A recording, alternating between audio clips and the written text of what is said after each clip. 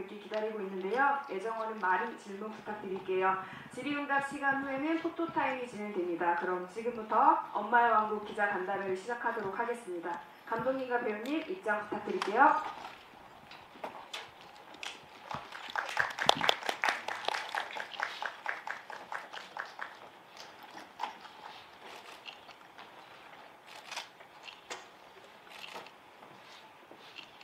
네, 그럼 저희 배우님들 인사 부탁드릴게요. 이상학 감독님부터 부탁드립니다.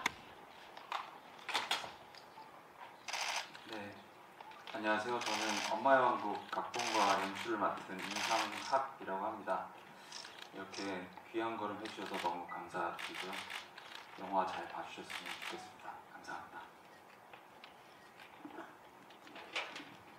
네, 안녕하세요. 엄마의 왕국에서 아들 도지웅 역을 맡은 네, 한기장입니다. 네, 오늘 이렇게 와주셔서 너무 감사드리고요. 네, 좋은 기사, 네, 좋은 이야기 많이 해주시면 감사드리겠습니다. 안녕하세요. 엄마의 왕국에서 주경희 역할을 맡은 남기의 배우입니다. 잘 부탁드립니다. 네, 안녕하십니까. 엄마의 왕국에서 도중명 역할을 맡은 유성주입니다. 귀한 시간 내주셔서 정말 감사드리고요. 저희 영화 엄마의 왕국 예, 응원 많이 부탁드리겠습니다. 감사합니다. 네, 우선 질문 주셔서 대단히 감사합니다. 어, 우선 신인 감독으로서 이렇게 개봉을 하게 돼서 가장 먼저 생각나는 건그 여러 아, 좀 고단한 상황 속에서 이 영화를 완성해 주신 배우분들과 스태프분들께 대단히 감사하다는 생각이 가장 먼저 들고요. 그리고 이렇게 영화를 기자분들께 또한 관객분들께 선보이게 되어서 대단히 영광입니다. 어, 제가 가족 이야기를 단편에서도 그렇고 장편에서도 만들게 종종 만들게 되었는데요. 그 이유는 우선은 어, 가족이 갖고 있는 다양한 특성들이 우리 인간의 여러 모습을 보여주기에 되게 적합하다고 생각을 했습니다. 특히 이번 영화는 가족 미스터리 극인데요. 가족 드라마이기도 하고 미스터리 극이기도 한데 사실 가족은 어, 되게 따뜻한 휴먼 드라마의 속성도 갖고 있지만 본질적으로 미스터리한 부분들도 가지고 있다고 생각을 해요. 그래서 이 가족이라는 특성을 좀 연구하는 영화들을 만들고 싶었고요. 어, 현실적인 이유로는 사실 저는 어, 저의 저희가 5억 미만의 저예산 장, 독립 영화인데요.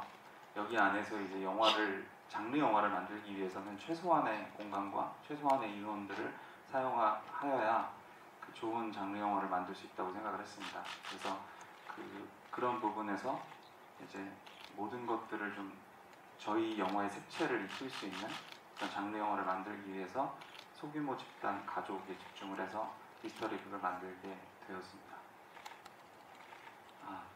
아, 좋은 질문 정말 감사드립니다. 그 저는 개인적으로 그러니까 모든 집단이 그렇겠지만 가족이 특히나 기억으로 유지되고 보호되는 집단이라고 생각을 해요. 근데 그 가족 안에서 어떤 기억이 이제 없어지거나 왜곡되거나 새로 생겼을 때 어떤 가족의 근간이 흔들릴 수 있는 여러 가지 미스터리와 드라마가 발생하잖아요.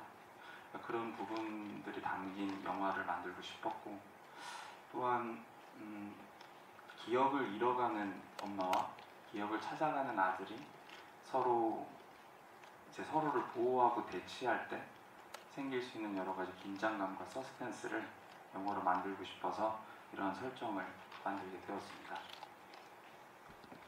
이상입니다. 어, 저는 이제 도식이라는 인물을 연기를 하면서 중점적으로 얻었던 키워드는 거짓 그리고 진실이라는 키워드가 있었는데 도대체 이 인물이 어디까지가 기억을 하고 있는 부분이고 어디까지 기억을 하지 못하고 있는가에 대한 고민이 많았어요. 근데 우리 기억이라는 게 기억을 못하고 있긴 하지만 사실은 있었던 일이기도 하고 내가 기억을 왜곡하기도 하고 그리고 어, 어떤 기억을 내가 낭만적으로 포장을 하기도 한다고 생각을 했기 때문에 저는 이 인물이 어떤 경계 위에 놓여 있는 인물이라는 생각을 해서 그 경계 위에 있는 인물이 내리는 선택들이 어, 그래도 좀 타당성 있고 관객들로 하여금 좀 이해될 수 있게 어떻게 하면 보여질 수 있을까 그런 고민들을 좀 많이 했던 것 같습니다. 주경이가 자기가 이제 치매라는 거를 인식하는 그 순간부터가 경혜에게는 굉장히 공포로 다가왔을 거라는 생각을 했어요. 왜냐하면 이거는 어, 우리 집 안에 있는 어떤 어, 아들과 저와의 그 공통된 비밀의 기억들이 치매를 통해서 발설이 될 수 있고 그 발설되는 거가 어, 아들의 모든 것들을 무너뜨릴 수 있기 때문에 그거는 주경이에게 꼭 지켜야 되는 비밀이거든요. 그래서 이제 그거를 설계를 할 때 감독님하고 진짜 이야기를 많이 나눴고 그리고 치매가 이렇게 진행되는 단계를 어, 구체적으로 나누어서 그 씬별로 다 나누었습니다.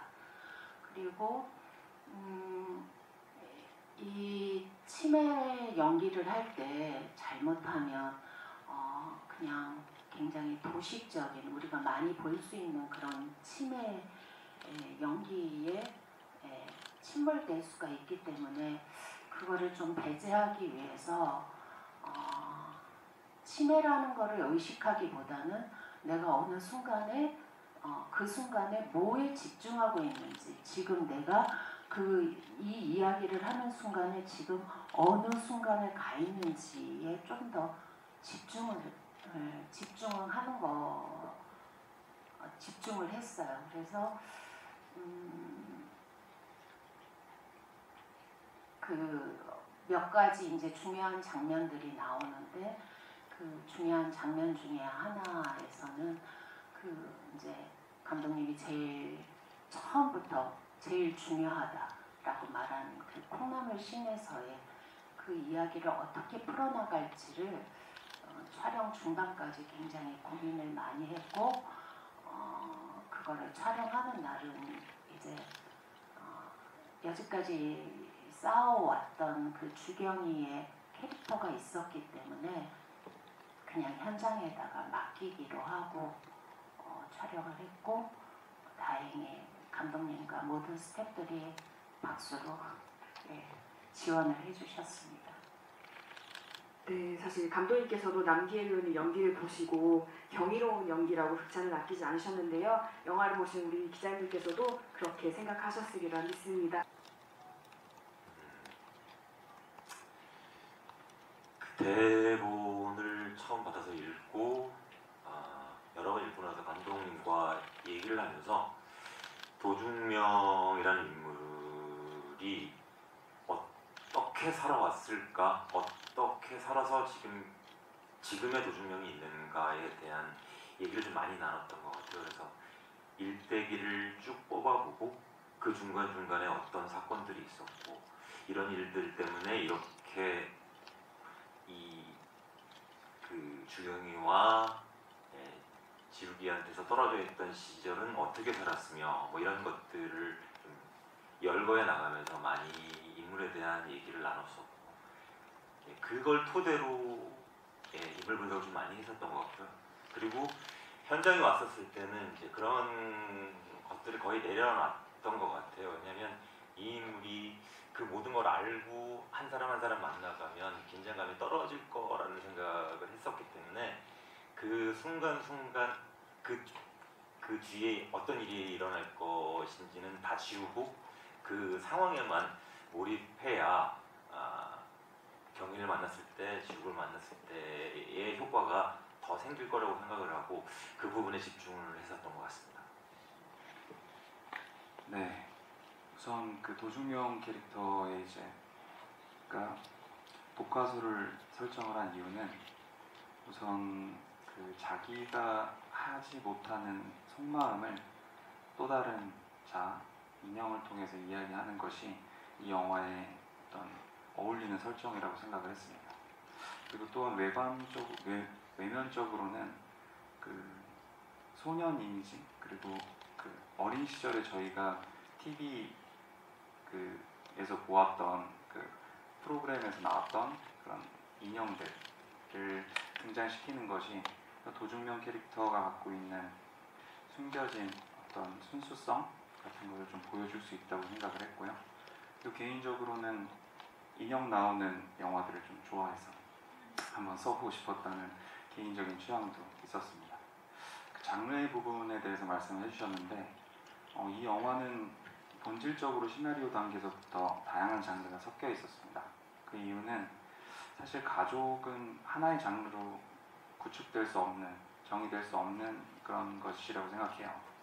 왜냐면 되게 가족들이 따뜻한, 서로 사랑해서 따뜻한 휴먼 드라마를 만들기도 하지만 그 사랑이 과도해서 어떤 어, 누군가에게 이제 더 과도한 그런 환영을 씌우거나 어떤 문제를 일으키기도 하고 또한 가족들의 어떤 걸 보호하기 위해서 타인들에게 실수를 저지르기도 하잖아요. 그래서 이런 것들을 함께 담기 위해서는 그 가족 드라마뿐만 아니라 미스터리, 스릴러, 또 범죄물의 요소들이 필요했습니다.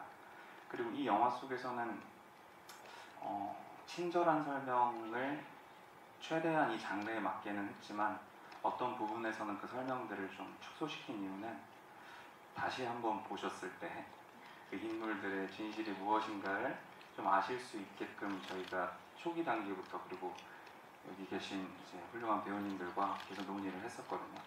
그래서 처음에 봐- 보셨을 때 좀 어? 왜 이렇게 다양한 장르로 만들었지? 라고 생각이 되실 수 있으나 한 번 더 엔처 관람을 해주시면 어, 저희의 생각들이 조금 더 변화하면서 아 이런 지점이 있었구나 라고 느끼시는 부분이 있을 거라고 생각합니다. 네, 저에 대해서 칭찬해 주셔서 감사하고 그리고 또 어, 이게 칭찬인지 아니면 잘 못했다고 혼내주시는 건지 아- 다시 한번 생각을 하게 되는데요. 아, 일단 엄마의 왕국에서 왕국이라는 것의 왕국을 어떻게 생각하느냐라는 말에는 그 왕국이 갖고 있는 폐쇄성에 저는 이제 중점을 두었습니다. 음, 여기에 여러 가지 비밀이 나오는데 어, 저는 이 시나리오를 읽으면서 저한테 제일 꽂혔던 부분은 아이에게 너 때문이야 라고 말하는 엄마의 그 어, 젊은 시절이었어요. 어, 제가 실제로 이제 아이가 셋이 있는 엄마이기도 하고 제가 또 누군가의 딸이기도 해- 하잖아요. 어, 아이가 아이에게 너 때문이야 너만 아니었으면 이런 말들이 아이가 갖고 있는 어떤 본능적으로 그러니까 무의식적으로 그 아이가 어, 지닐 수 있는 죄책감, 자책감 이런 것들을 형성하게 만든다라고 생각해요. 물론 이, 이, 이 영화를 어디까지 스포를 해야 되는지는 모르겠는데 음, 아이가 갖고 있는 출생의 어떤 밝히지 못하는 어떤 비밀과 아 그거 그것도 불행의 씨앗이지만 엄마가 아이에게 너 때문이야 라고 말하는 그것이 이 가족이 더 큰 불행을 어, 불러오게 만들었고 엄마는 그제서야 주경이는 어, 퍼뜩 정신이 들었다고 생각을 합니다. 그래서 내가 너 때문이야 라고 말했던 그 모든 것들을 어, 덮기 위하여 그때부터 아마 주경이는 목숨을 다해서 살려고 노력했을 거라고 생각합니다. 왜냐하면 그 전에도 엄마였고 그 이후에도 엄마였는데 주경이와 이 아들의 어떤 사건이 있기 이전의 주경이와 그 사건이 있기 있은 다음의 주경이는 분명히 많이 달라졌을 거라고 생각을 해요. 그래서 그 부분에 굉장히 큰 중점을 두었고 그 다음에 왜 연기가 더 많이 할 수 있는데 왜 하지 못했느냐 그거는 어, 저는 여기서 제가 주요 역 어, 주인공이긴 하지만 제가 제 칼날을 여기서 드러내는 게 중요하다고 생각하지 않았습니다.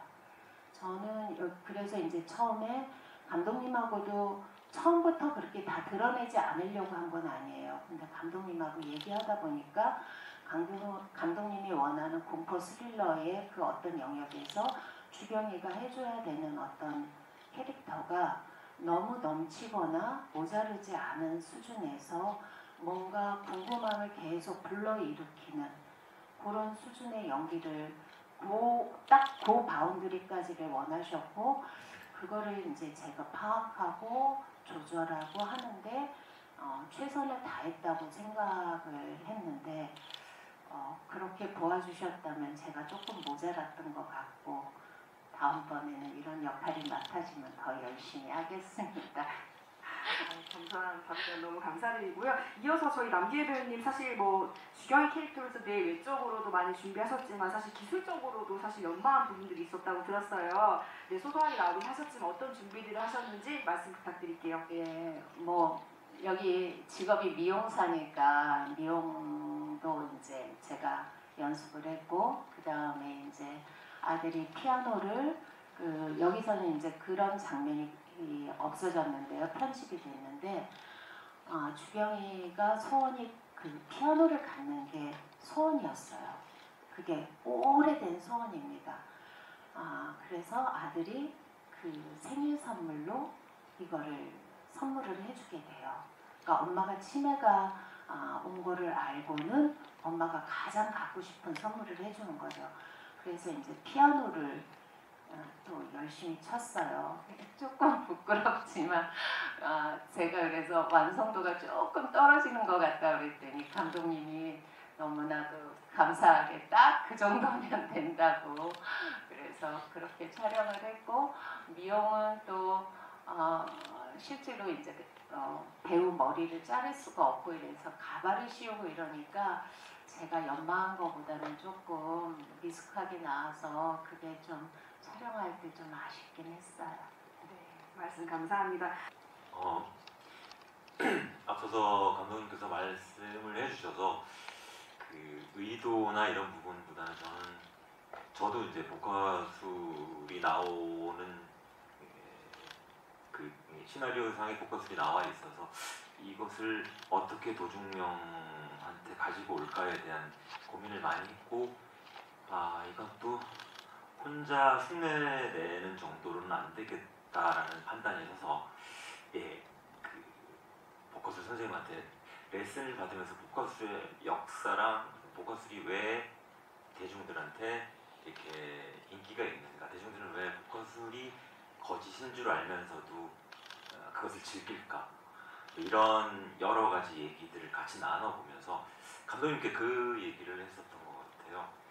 어, 진짜라고 노력 아 저 사람 하나도 안 움직이고 진짜 복화술을 잘하는구나가 중요한 게 아니고 도중명이 복화술을 하고 있는 걸 다 알고 있는데도 불구하고 아, 어떻게 그 교회 신도들 아니면 등장하는 인물들에게 아, 이 복화술과 도중명의 이중성에 대해서 잘 설득할 수 있을까에 대해서 조금 집중을 해보자라고 얘기를 많이 했었었고요. 그래서 음, 그 과정이 어떻게 기자분들께서 어떻게 보셨는지는 모르겠지만 아 저는 그 현장에서 이 배우님들과 복화술을 하면서도 아 이게 촬영 안에도 진실과 거짓이 있구나라는 생각을 하면서 조금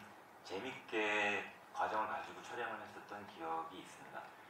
음, 어쨌든 그셋 모두 어떠한 비밀을 간직하고 있고 이중성들을 다 가지고 있는데 아마도 아, 셋 중에 복화술을 쓴다면 적합 하지 않았을까라는 판단을 감독님이 하셨을 거고 저도 그 생각과 일치를 했고 그래서 조금 더 내 삶 쪽으로 다가오게끔 좀 예, 많이 연습을 했었, 했었습니다. 좋게 봐주셨으면 감사하겠습니다. 네, 그 엄마의 왕국은 기억을 잃어가는 엄마와 기억을 찾아가는 아들의 미스터리 극이고 또한 가족의 행복을 지키기 위한 어떤 생존기 영화이기도 하고 또 한편으로는 진실과 거짓에 대한 어떤 의구심을 건네는 작품입니다. 이런 것들을 저희가 어떤 직접적인 방식으로 설명하기보다는 영화가 갖고 있는 종합 예술의 특성들을 사용해서 그 만들었거든요. 그러니까 여기 계신 배우분들의 훌륭한 연기뿐만이 아니라 촬영, 조명, 음향, 음악, 미술 등에서도 어떤 연마의 왕국만의 색채를 전달하기 위해서 노력을 했습니다. 그래서 스크린에서 와서 봐주시면 그 가족이라는 소중한 우리의 집단의 다양한 속성을 잘 느끼실 수 있고 또 다양한 감성과 생각들을 하실 수 있지 않을까라고 생각을 합니다.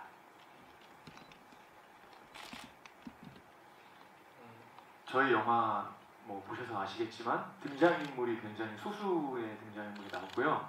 그 로케이션 같은 경우에는 거의 집 안에서만 이루어지는 장면들로 이루어졌기 때문에 어, 심리적으로 좀 답답한 느낌을 저희도 주게 되면서 동시에 좀 어떤 문제에 대해서 깊이 들어가는 지점이 저희 영화의 특성이라고 생각을 하는데 어, 그런 느낌을 이렇게 큰 극장에서 어, 보시면은 또 색다른 느낌이 드실 거라고 생각해서 관- 꼭 관객분들이 이 극장에 오셔서 봐주시면 좋을 것 같습니다.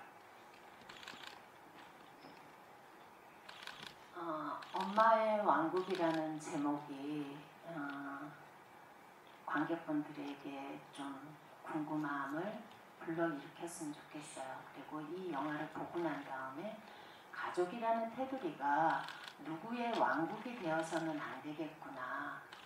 엄마의 왕국도 아빠의 왕국도 아들의 왕국도 아닌 우리가 모두 지켜야 하는 그냥 그런 집 그것이 가장 행복한 거구나를 어, 알수 있는 돌아갈 때 그걸 깨달을 수 있는 그런 영화이기 때문에 봐주셨으면 좋겠습니다. 예, 저도 이 영화를 몇 번 봤는데요. 여기 지금 배우분들하고 예, 감독님하고 이렇게 있는데 영화를 보면서 저는 스텝적인 부분들이 굉장히 많이 보이더라고요. 아, 물론 저예산 영화지만 거기서 우리 영화만의 색깔을 내려고 노력했던 스태프분들의 조명도 그렇고 음악도 그렇고 촬영도 그렇고 이 여러 가지 요소들이 아 굉장히 각자의 역할에서 제 몫을 다했구나라는 생각을 했습니다. 그래서 아, 극장에서 봐주시면 그러한 지점들이 오롯이 관객분들한테 전달이 되지 않을까라는 생각이 예, 많이 듭니다. 그래서 극장에서 많이 봐주셨으면 감사하겠습니다. 네. 어, 저는 우선 데뷔작이고요. 그럼에도 불구하고 이렇게 감사하게 두 선배님들과 연기할 수 있어서 너무나 저는 감사하고 어, 소중한 경험이었습니다. 뭐 100번, 1000번 말씀을 드려도 아깝지 않을 정도로 너무나 훌륭하신 예, 선배님들과 같이 하면서 저는 너무 행복했고요. 어, 보셔서 당, 당연히 아시겠지만 연기적인 부분들은 정말 많이 배우고 정말 많이 같이 경험을 했습니다. 그 외에도 우선 기예 선배님 같은 경우에는 촬영을 할 때도 촬영을 하지 않을 때도 정말 엄마처럼 품어주시고 어, 따뜻하게 대해주셨어요. 그건 저뿐만이 아니라 같이 작업하는 스태프들 모두 배우들 다 포함해서 그렇게 정말 저희 왕국 엄마의 왕국 제목처럼 예, 그렇게 따뜻하게 품어주셨거든요. 어, 기예 선배님이 엄마의 왕국을 잘 받아. 아, 좋은 왕국을. 그래서 기애 선배님이 그렇게 해주시지 않으셨으면 영화가 어, 완성되지 않았을 수도 있겠다라는 생각이 들 정도로 정말 스텝 한 분 한 분 다 같이 품어주시면서 영화를 잘 마칠 수 있도록 끌고 도와주셨어요. 그리고 성주 선배님도 마찬가지로 촬영이 없으신 날에도 오셔가지고 지지해주시고 옆에 계셔주시고 응원해주셔서 어, 정말 든든했습니다. 그리고 성주 선배님 같은 경우에는 제가 6년 전에 같이 연극 공연을 하고 이번에 다시 만나게 됐던 건데 그때나 지금이나 뭐 그런 든든함을 주셔가지고 저는 너무 감사하게 연기할 수 있었고요. 좋은 배우가 연기만 잘한다고 되는 게 아니라는 것을 이번에 선배님들 뵈면서 예, 느낄 수 있었던 현장이었습니다. 네. 어, 저희 영화는 그 가족 비밀 거짓말이라는 키워드를 가지고 있는데요.